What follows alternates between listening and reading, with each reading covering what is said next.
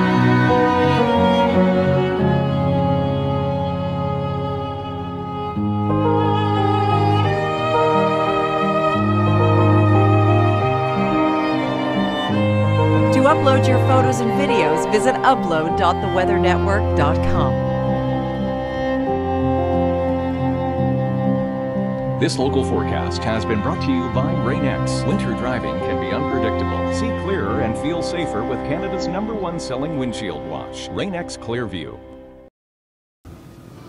Storm Bella brings strong winds to the UK's southeast coast.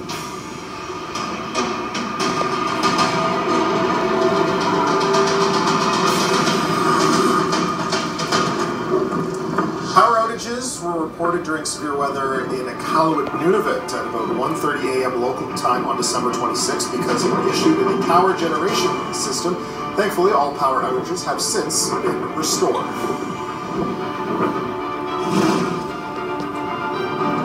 Official footage from the Kilauea volcano on Hawaii's Big Island shows continuous lava flow into a lava lake in the early morning hours of December 26th.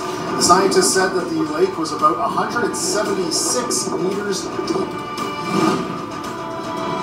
Strong winds were observed in Brighton and Hove on the southeastern coast of the United Kingdom on December 26th as Storm Bella hit the British Isles. The Met Office issued an amber wind warning. The strongest gusts reported were up to 110 kilometers an hour.